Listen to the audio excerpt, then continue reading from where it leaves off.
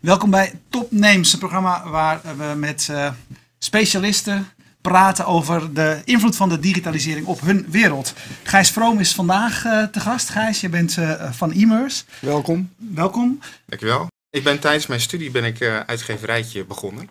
Ja, dus dat, had... dat, was natuurlijk al snel belangrijker dan die studie. Dat, ja, ja, het was eigenlijk zo. Ik, ik, we zaten in die muziek, zeg maar. En ik had, naast ik studeerde gewoon. En ik had een idee, je had allemaal van die houseparties toen. Hè? En, maar niemand wist hoe je op zo'n party moest komen. Er waren flyers in omloop, maar die kregen alleen geselecteerd publiek. En ik dacht, handig als je die dingen gewoon thuis gestuurd krijgt.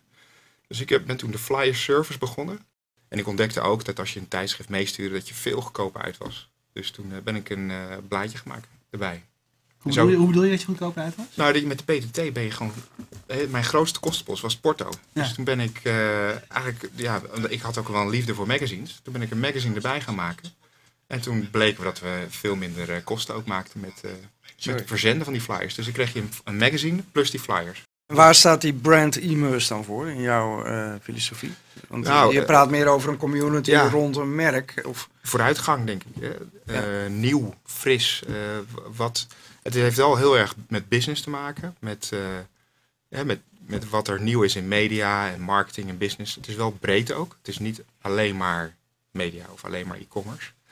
Maar het is gewoon de invloed, denk ik, van online, van digitale media op business. De events is zeg maar over de helft uh, onze inkomsten. Maar uh, het blad is nog steeds, doet het nog steeds goed.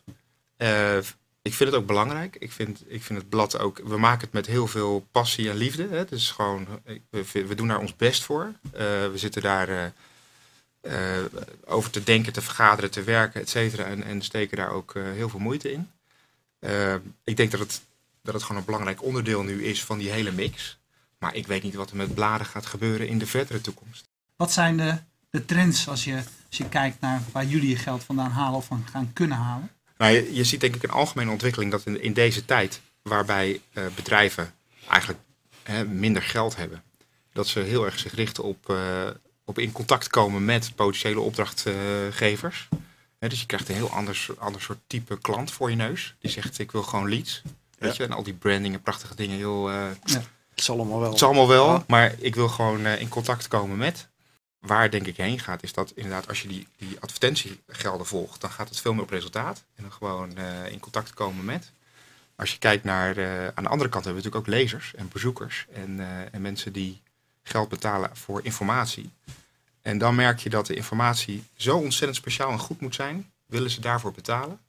Dat is, want er is natuurlijk information overload. Mm hè, met, met gewoon nieuws of, of allerlei andere zaken die gewoon voorhanden zijn, kom je er niet. Toen je beginnend uitgeven was, dan richtte je op al die verschillende, verschillende uh, groepen. Van de, van de snowboarders tot de muzikanten, et cetera. Um, is één e-merse genoeg voor je?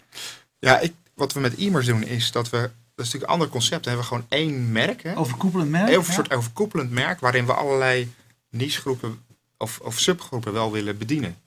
En ik, ehm, en het zou voor mij nog wel veel verder mogen. Hè. Ik, ik uh, droom van allemaal kanalen en dat daar dan uh, allemaal uh, communities in zitten en dat dat allemaal onder Immers merknaam zou kunnen. Government was ook een beetje een project van mij persoonlijk, dat ik dacht, het wordt toch eens tijd dat die overheid, dat die, dat die interactie verbetert en dat je beter kunt communiceren met en dat zij beter communiceren naar ons. En dat is wel de, uh, het was niet eens om geld te verdienen, zeg maar. Hè. Dat was meer... Wij vinden dat allemaal, maar blijkbaar vinden ze het zelf dan nog niet heel erg. Nou, er waren wel geïnteresseerden. Er was een ontzettend goede sfeer. Maar uh, het gekke is, we hadden wel bezoekers, maar we hadden geen sponsors. Okay. Te weinig sponsors. Dus de, de, de, de online toeleveranciers zijn een beetje bang voor die overheid of die denken dat daar niks te halen is. En dat zie je ook dat die overheid ook wel op een andere manier beslist. Die zijn anders dan die commerciële bedrijven.